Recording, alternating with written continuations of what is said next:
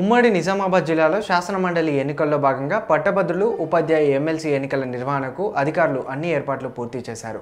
ఇందులో భాగంగా బాక్సులు బ్యాలెట్ పత్రాలు సిద్ధం చేశారు.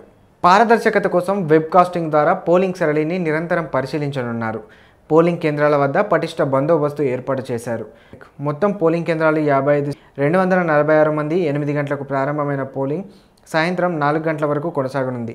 మొత్తం పట్టభద్రులు ముప్పై ఆరు వేల నాలుగు వందల తొంభై మంది ఉండగా ఉపాధ్యాయులు నాలుగు వేల తొమ్మిది వందల డెబ్బై ఎనిమిది మంది ఓటర్లు తమ ఓటు హక్కును వినియోగించుకోనున్నారు.